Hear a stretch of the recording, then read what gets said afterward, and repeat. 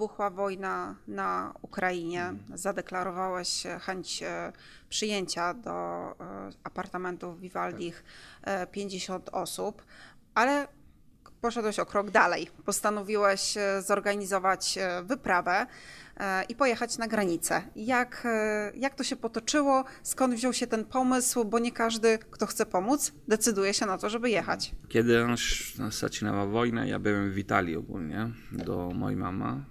Yy, Zaczynała wojna. Przy- Przyjechałem do samolocie do Warszawa. Yy, Co widziałem, było straszne rodziny z, z Ukrainy, małe dzieci yy, płaczą. Było taki dla mnie nie do myślenia. Przyjechałem tutaj do, do Elbląga rozmawiałem z mojej rodziną też. E, Wszyscy moi tutaj, kiedy pracujemy, decydowaliśmy jak najbardziej pomagać tym ludziom.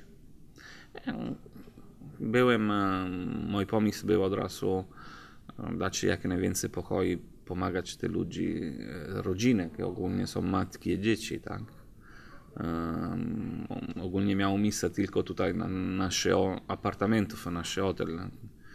E, Dać ty pokój, co były wolne dla nich.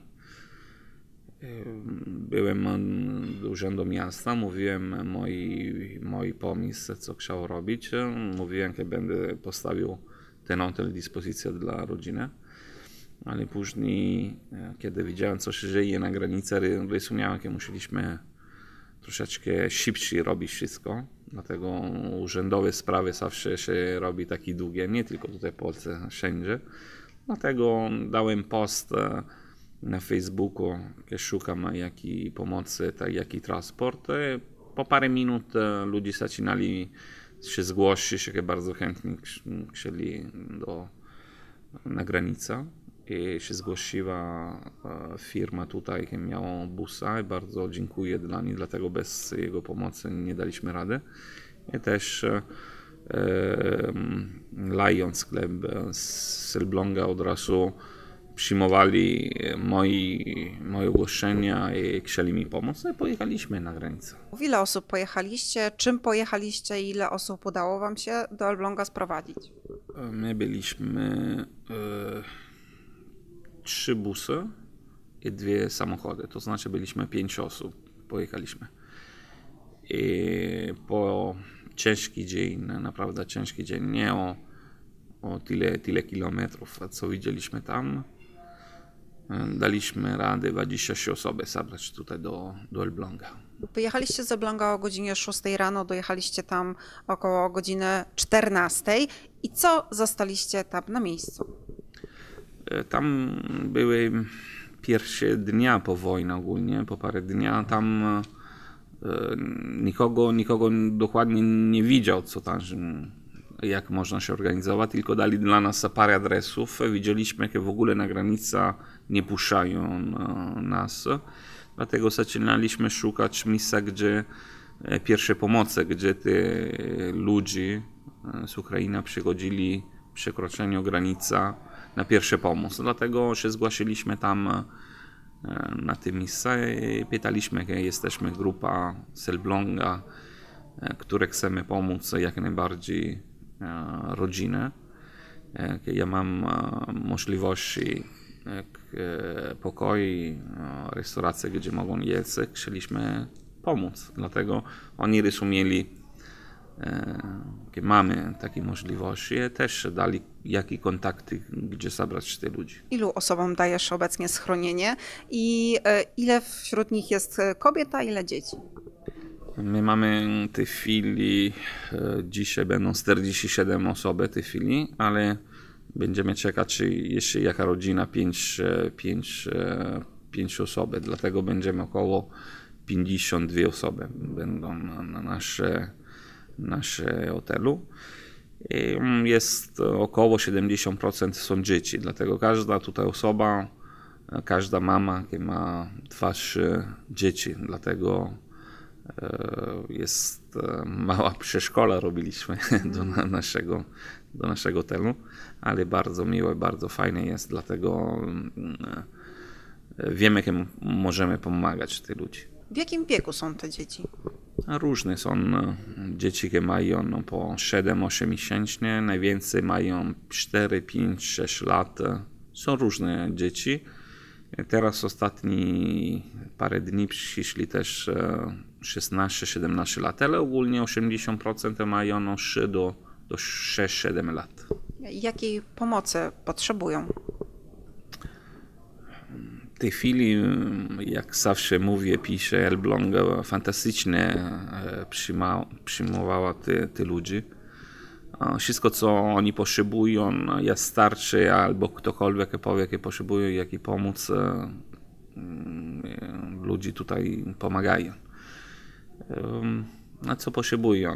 Potrzebują spokój, kiedy wojna się skończy, kiedy mogą iść z powrotem do, do domu. Oni, nie, oni chcą tutaj, daj, daj Boże, tylko chwilowo. Oni chcą iść z powrotem do, do Ukrainy.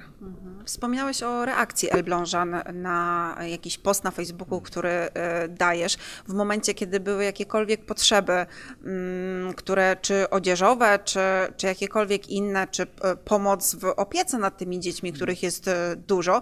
Reakcja Elblążan była natychmiastowa od razu. Ja nie dałem rady pisać z mojej Polski, taki nie, niepewny Polski, jaki, jaki post. I od razu dziesiątki ludzi mi opisali od razu, jak chcą pomagać, telefony. Naprawdę. Elbląg niesamowity. Byłem zaskoczony pozytywnie, co, co tutaj się dzieje codziennie, co Elblążani robią na tych ludzi. Dlatego pamiętamy, są rodziny, mamy dzieci.